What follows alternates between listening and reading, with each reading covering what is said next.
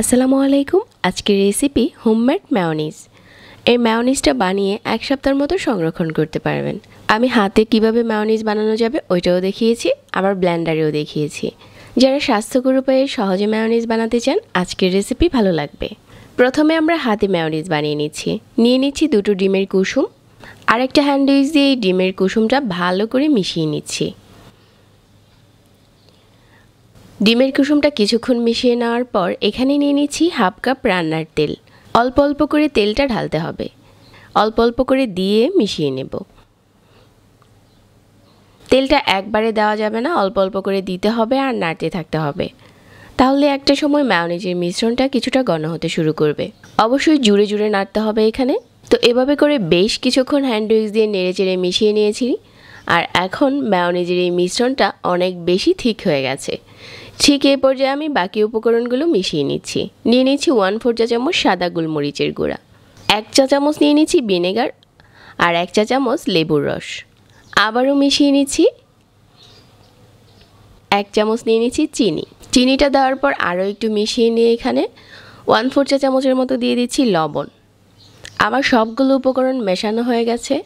এখন আবারও নেড়ে চেড়ে মিশিয়ে নিয়েছি আর আমাদের হাতে বানানো মায়োনিজ এখন তৈরি হয়ে গেছে। এটা যখন আমরা নর্মাল ফ্রিজে রেখে দিব, আরও কিছুটা ঠিক হয়ে যাবে। এখন চলুন ব্ল্যান্ডারে মায়োনিজ বানিয়ে দেখাই।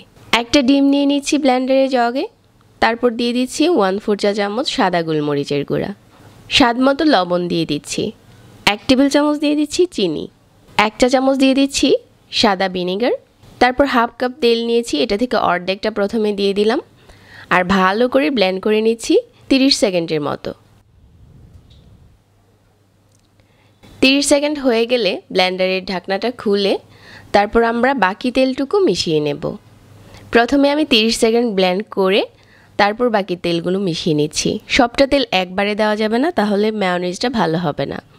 তো আবারও তিরিশ সেকেন্ডের মতো ব্ল্যান্ড করে নিয়েছি। আর এক মিনিটেই ব্ল্যান্ডারে এই ম্যাওনিজটা বানানো হয়ে যায়। এখন ব্লেন্ডারের ডাকনাটা খুলে দেখিয়ে দিচ্ছি। ব্ল্যান্ডারে বানানো ম্যানুসটাও অনেক বেশি ঠিক হয়েছে। এখন আপনি চাইলে হাতেও বানাতে পারেন, আবার চাইলে ব্ল্যান্ডারেও বানাতে পারেন। যেভাবে ভালো লাগে ওইভাবেই বানিয়ে নিতে পারেন। এখন এই হোমমেড ম্যাওনিস এক সপ্তাহের মতো সংরক্ষণ করতে পারবেন। এখানে আমরা ভিনিগার দিয়েছি, যার কারণে এটা নষ্ট হবে না। আশা করছি সহজ পদ্ধতিতে দুইভাবে বানানো ম্যায়নিজ শেয়ার করতে পেরেছি। সবাইকে আবারও ধন্যবাদ জানাচ্ছি আজকের রেসিপি দেখার জন্য। আর এরকম সহজ রেসিপি ভালো লেগে থাকলে চ্যানেল সাবস্ক্রাইব করবেন আর আমাদের ফেসবুক পেজ ফলো করতে পারেন। সবাইকে আবারও ধন্যবাদ জানিয়ে আজকে এখানেই বিদায় নিচ্ছি। আল্লাহ হাফিজ।